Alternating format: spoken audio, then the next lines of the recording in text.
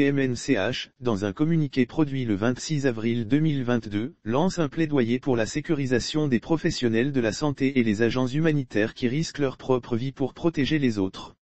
Les professionnels de la santé et les agents humanitaires risquent leur propre sécurité et leur vie en cherchant à maintenir la continuité de la couverture des services, des soins et des aides aux femmes, aux enfants et aux adolescents vulnérables dans les zones de conflit. Ils peuvent être victimes du conflit, soit en tant que victimes accidentelles d'attaque, soit en tant que cibles délibérées des forces rebelles.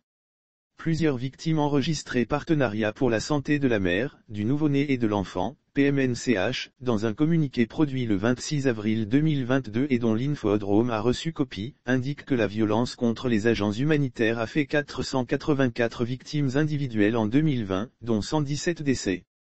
La violence contre les agents humanitaires a fait 484 victimes individuelles en 2020, dont 117 décès au Mali. Le SHCC a recensé 11 incidents de violence ou d'obstruction contre les travailleurs de la santé en 2020. Au moins 4 ambulances ont été endommagées au cours de ces incidents.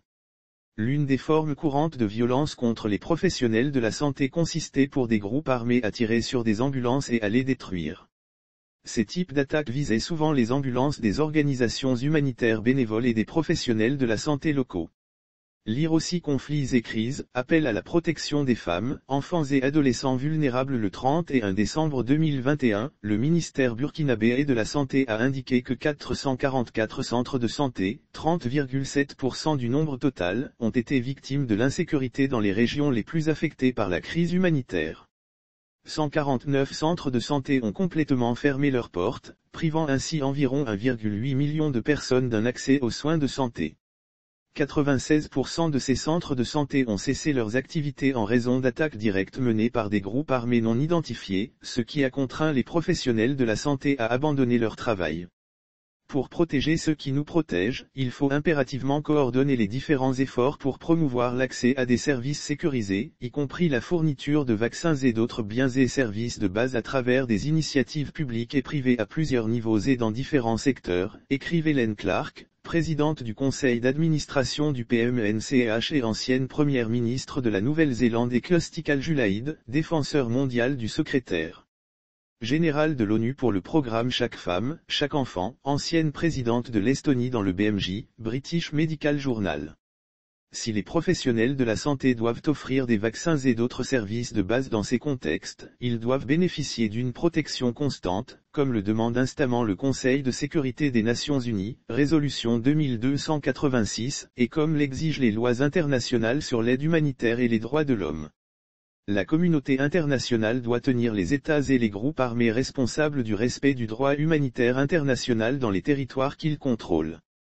Sommet virtuel L'impact des conflits et des crises humanitaires sur les femmes, les enfants et les adolescents, ainsi que sur les professionnels de la santé qui risquent leur propre vie pour protéger les autres, sera davantage examiné lors d'un prochain sommet virtuel organisé par le PMNCH, la plus grande alliance mondiale pour la santé des femmes, des enfants et des adolescents.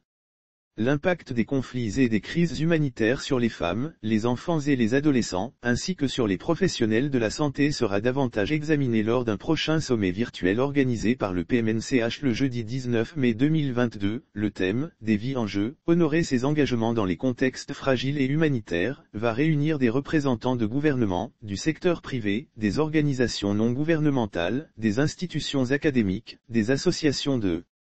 professionnels de la santé, des organisations de jeunes et des groupes de défense des droits de l'homme pour réfléchir sur les actions à mener au niveau mondial pour relever ces défis. Lire aussi conflit dans le Sahel, des chiffres inquiétants sur la situation des femmes, enfants et adolescents Les femmes, les enfants et les adolescents dans les zones affectées par les conflits et les crises humanitaires sont exposés à des menaces supplémentaires pour leur vie et leur bien-être. 10 millions de décès d'enfants de moins de 5 ans enregistrés entre 1995 et 2015 dans le monde entier peuvent être directement et indirectement dus au conflit. Les femmes en âge de procréer vivant à proximité des zones de conflit de grande intensité courent trois fois plus de risques de perdre la vie que les femmes vivant dans un environnement stable.